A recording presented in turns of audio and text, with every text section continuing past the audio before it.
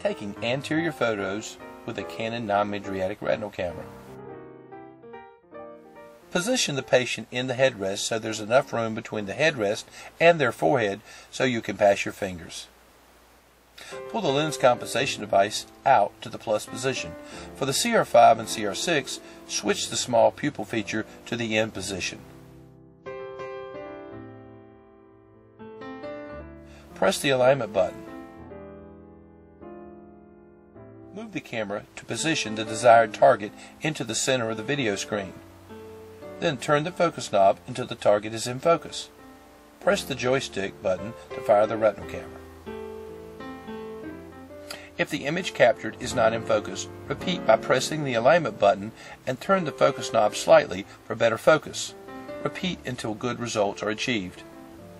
Don't forget, when finished, to return the lens compensation to zero.